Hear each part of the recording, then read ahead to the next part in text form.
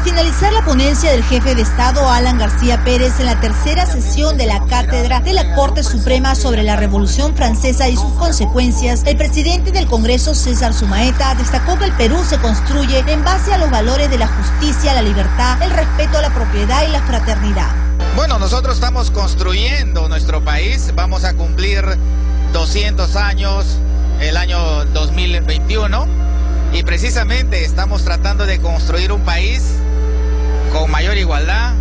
con mayor libertad, con mayor justicia, con mayor fraternidad y respetando la propiedad privada. Esas son las enseñanzas de la Revolución Francesa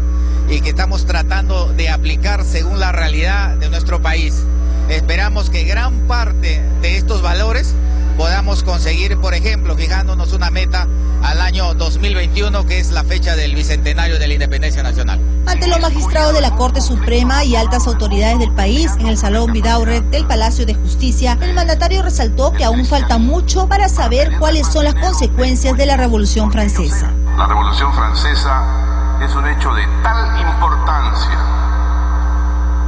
tal vez similar a la Revolución Cristiana del siglo I, o a la revolución individualista que Lutero comenzó en el siglo XVI, es tan importante que sus consecuencias recién pueden ir columbrándose o entendiéndose ahora. Muchos hemos creído entender la Revolución Francesa desde el momento de su realización, pero la verdad es que sus consecuencias Estamos aún en el plazo breve de la historia como para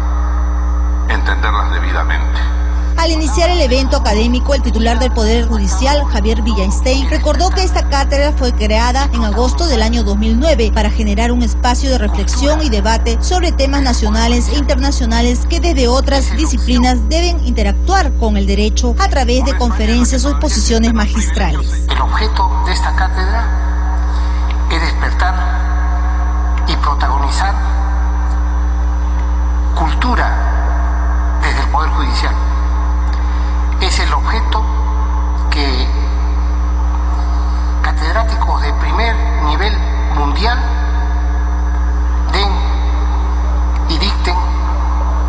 una charla, una cátedra, una conferencia